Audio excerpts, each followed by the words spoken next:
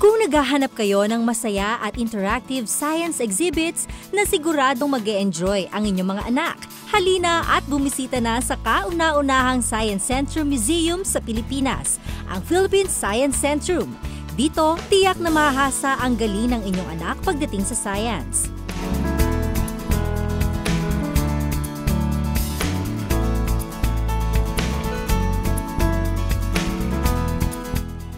Narito ang mahigit isang daang hands-on exhibits na matatagpuan sa labing isang galleries, ang lights, bodyworks, mathematics, electricity and magnetism, water, vision and perception, infectious diseases, earth science, space, kids world at mechanics.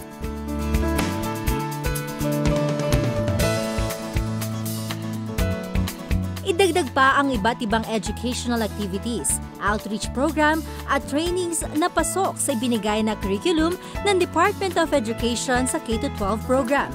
Hindi lamang ito pang preschool at K-12 students, kundi ideal venue rin para sa mga kolehiyo na gumagawa ng research pati sa buong pamilya na gusto magsaya. Inilibot kami ng aming tour guide na si Robert Bautista sa ilan sa pinakasikat na exhibits. Kabilang narito ang anti-gravity mirror kung saan sa bawat galaw mo ay para kang lumulutang. Sa observer's point of view, ang reflection ng nakalabas na bahagi ng katawan sa salamin ang magiging kabilang bahagi ng katawan. Kaya naman, magmumukhang buo ang katawan ng tao. Ang pag-angat ng biti ay magre-reflect sa salamin at ito ang dahilan kung bakit para nakabiti ng tao at hindi hinihila ng gravity.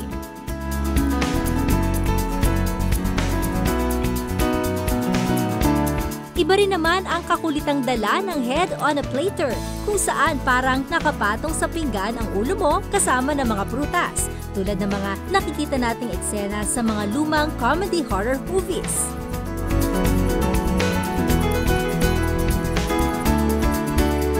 Nagre-reflect sa dalawang salamin sa gilid ng mesa ang pattern ng floor tiles, pati na ang dingding, kaya naman nagpo-produce ito ng ilusyon na nawawala ang iyong katawan. Kung gusto mo naman ng exciting at mala thriller ride, dapat mong subukan ang Human Gyro Ride kung saan iikot ng iikot ang inyong mundo. Base ang interactive exhibit na ito sa machine na binuo ng NASA noong 1960s para sa training program ng Apollo at Gemini astronauts. Makakayang gumalaw ng komportable ng mga astronauts na parabang napakagaan nila umiikot at nagpapagulong-gulong sa loob ng spacecraft.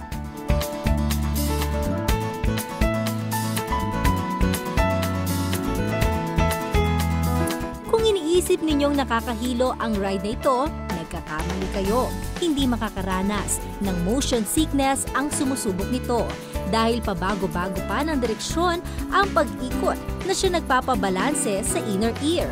Tandaan na ang spinning fluid sa inner ear ang siyang dahilan ng pagkahilo na nagre-resulta ng motion sickness. Meron din silang tinatawag na distorted room kung saan tila magbabago ang size ng inyong katawan.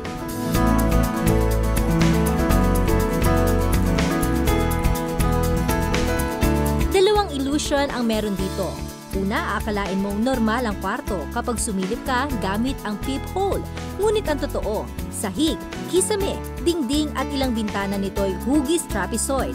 Pangalawa, ang mga tao o bagay na nasa loob nito'y nagmumukhang malaki o di kaya naman ay lumiliit kung nasa magkabilang dulo.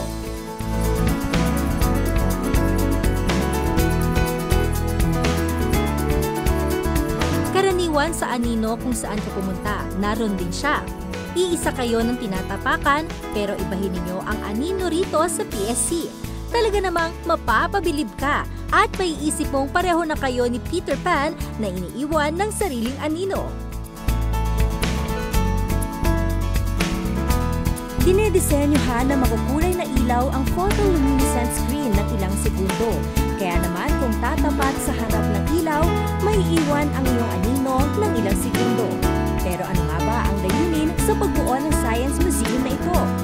kasama natin ngayon si Miss Edisel Herrera, ang Operations Manager ng Philippine Science Centrum. Magandang araw, Miss Edisel. Magandang araw din. So, ma'am, kwentuhan niyo kami, paano talaga nagsimula itong Science Centrum? Ah, ah, nagsimula ang Science Centrum ah, bilang isang project ng Philippine Foundation for Science and Technology. Tapos it started in 1990 at the Manila Film Center sa Manila. Then, uh, few exhibits pa lang noon. Tapos, ang pinaka-mission kasi ng Science Centrum is uh, to promote science and technology consciousness among the Filipino citizenry, especially the students. Now, it's a vision to uh, create a science school for Filipino citizenry. Bumuo rin ang museong ito ng Traveling Science kung saan dumarayo sila sa mga probinsya upang makita ng mga batang sabik sa siyensya ang kanilang. Sa bawat pagbisita sa probinsya, iba't iba rin ang ginagamit nilang tema.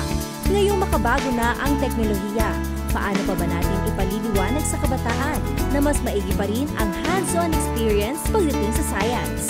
Siyempre, ah, hindi kami makakapag-level up dun sa mga talagang magagandang museums na air-conditioned. So, yun lang yung pwede naming uh, medyo disadvantage. Pero, yung sa learning naman sa bawat exhibit, kasi we have more than 120 exhibits na lahat yon is uh, purely science, lahat is well-researched, so lahat na pag-aralan kung ano yung concept at ano yung scientific uh, explanation ng bawat exhibit. So siguro yung, yun yung edge namin para ma-attract silang pumunta kung ang hanap talaga nila is educational field trip na 100% learning is dito na sila pumunta. At saka, uh, of course, they learn and um, uh, they learn and play at the same time. So, yan, marami pa naman, marami naman pumupunta talaga.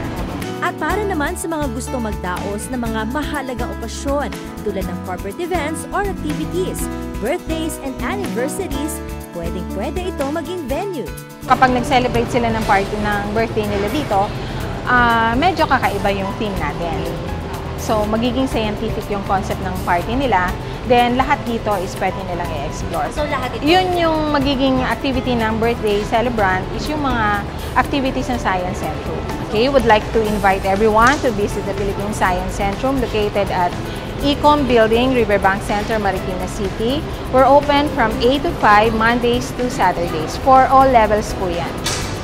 Kaya naman kung nais ninyo ng fun learning experience kasama ang mga kaibigan o buong pamilya, i-explore na ang iba't ibang hands-on science exhibits dito at tiyak hindi nyo ito pagsasawaan.